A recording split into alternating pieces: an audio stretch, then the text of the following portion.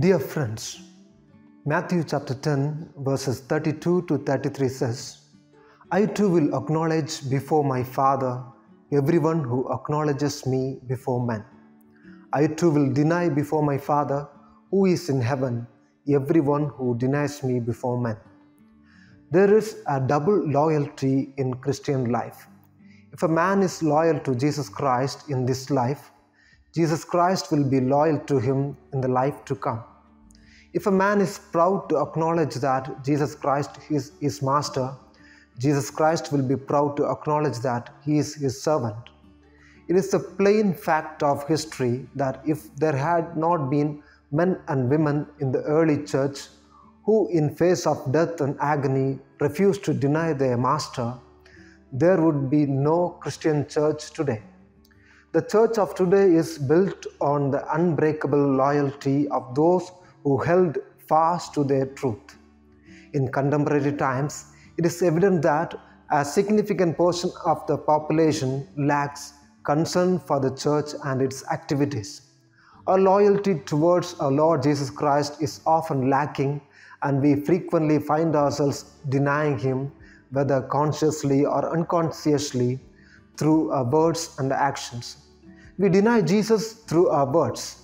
When a young man was asked if he was a Christian, he responded by saying, Yes, but not so offensively.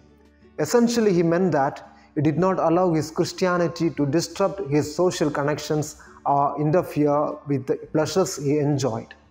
Sometimes we say to other people practically in so many words that we are church members, but not to worry about it too much, that we have no intention of being different, that we are prepared to take our full share in all the pleasures of the world, and that we do not expect people to take any special trouble to respect any vague principles that we may have.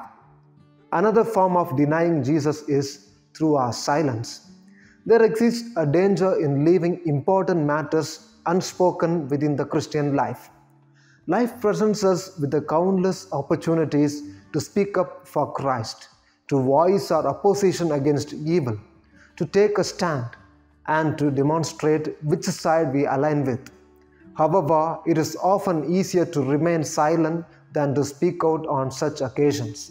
Nevertheless, this silence amounts to a denial of Jesus Christ. It is likely that a far greater number of individuals deny Jesus Christ through their cowardly silence rather than through deliberate words. Let us ask the Lord to give us the grace to be not only hearers but doers of the Holy Word, not only to admire but to obey the doctrine, not only to profess but to practice your religion not only to love but to live your gospel. Let God bless us all.